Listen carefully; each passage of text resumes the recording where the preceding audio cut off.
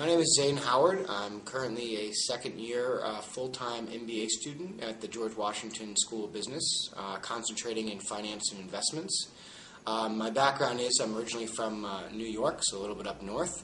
I, I previously worked for four years in uh, private wealth management on Wall Street there.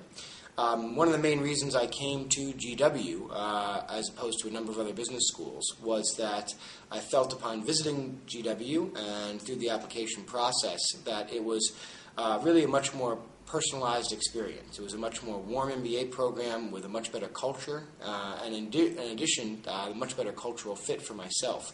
Um, but in addition to that, I also felt that unlike other maybe more established MBA programs, uh, George Washington School of Business full-time program is really an up-and-coming program. Uh, that every year that goes by, the program gets better and better and better, uh, and that allows me to be an active participant, contribute to that improvement of the program, uh, instead of just being kind of a you know passive, uh, going moving through the program is already established and not really being able uh, to help shape it.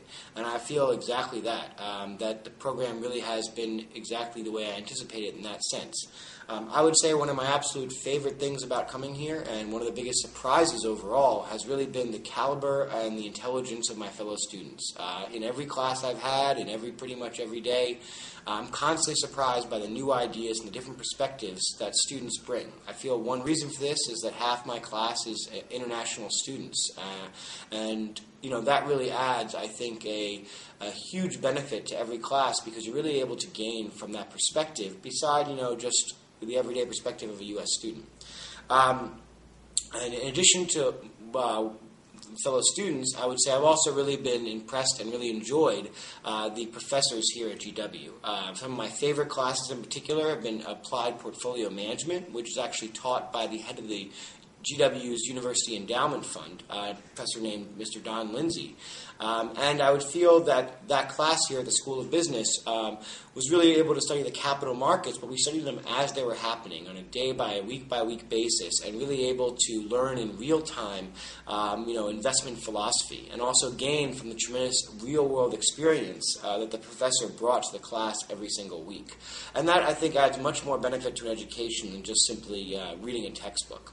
Uh, as far as professionally, um, I feel that I've been able to pretty much accomplish every goal I set out uh, coming to the school and really be able to get everything out of it. As I said, I came from a background in Wall Street, and my goal was to return there um, on, on a different capacity. And I've been able to do so, securing pretty much my dream job at ING uh, Investment Management, which I'll be going back to New York on July 1st.